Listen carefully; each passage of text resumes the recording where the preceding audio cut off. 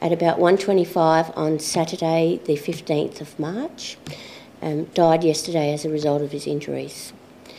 We're seeking assistance from the public who may have any information about the incident and we'd be asking them to contact Crime Stoppers on 1800 333 000.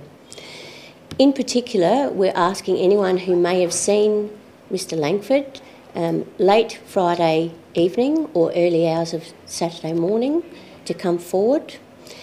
Anyone who may have seen Mr Langford at about 1.10am on Saturday morning on Rundle Street near the intersection of Little Capper Street. Um, it's believed that Mr Langford or a person matching his description was standing in the middle of Rundle Street attempting to hail a taxi.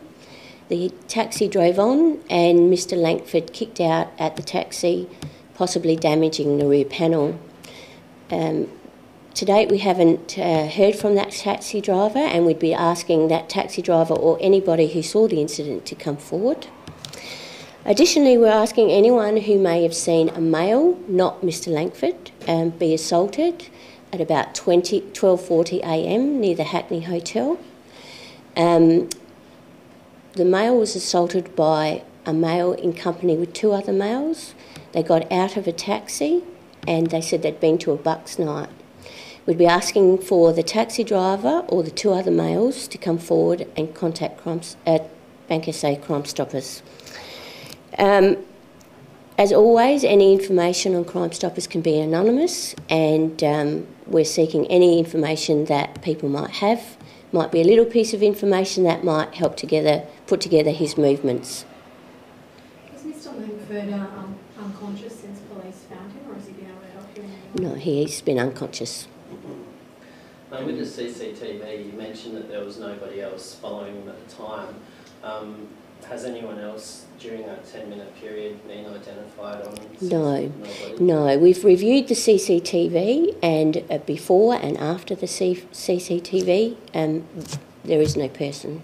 The injuries that he had to his, I believe, face and head, were they, are you able to suggest they're consistent with a fall or is there some ambiguity about that? Yeah, it, it's very hard with head injuries. Um, they could be consistent with a fall. There's only the one head injury that we know of. Um, can also be consistent with a hit. Um, there's going to be an autopsy conducted, so we're hoping that might give us further information. So that hasn't been completed yet? No, no. But it, it, you know, sometimes these things are very hard to determine. Um, we know that um, from the CCTV and from um, toxicology that Mr. Langford was affected by alcohol, and it's quite possible that he did trip and hit his head and fall. Could he have sustained an injury earlier on in the night that's caught up with him that's no. caused a bleed or anything like that? Or? No, no. We believe the injuries occurred at the time. At that location?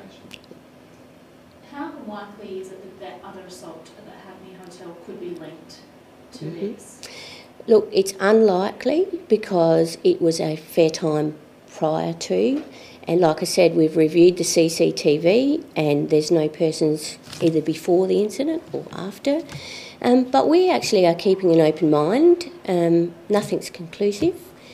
It, it appears that Mr. Langford's fallen, but that's why I'm appealing to the community to ask for more information. Could a vehicle have been involved that maybe not necessarily had hit him, but maybe he has tried to get out of the way of and then Uh, once again, we don't know. We've had Major Crash do a reconstruction of the incident um, and we're waiting on their findings, but there's nothing to indicate that be, he's been hit by a vehicle.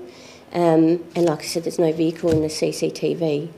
Was he on, whereabouts on this intersection was he? Sort of, Yeah, so just basically north of the intersection on the footpath. so he's on the footpath where you found him? Yeah, well, half on, half off, half on the footpath, half on the road, And how was he found? on his side. Oh, on his, how was he found? By patrols? That's an open question. Yeah.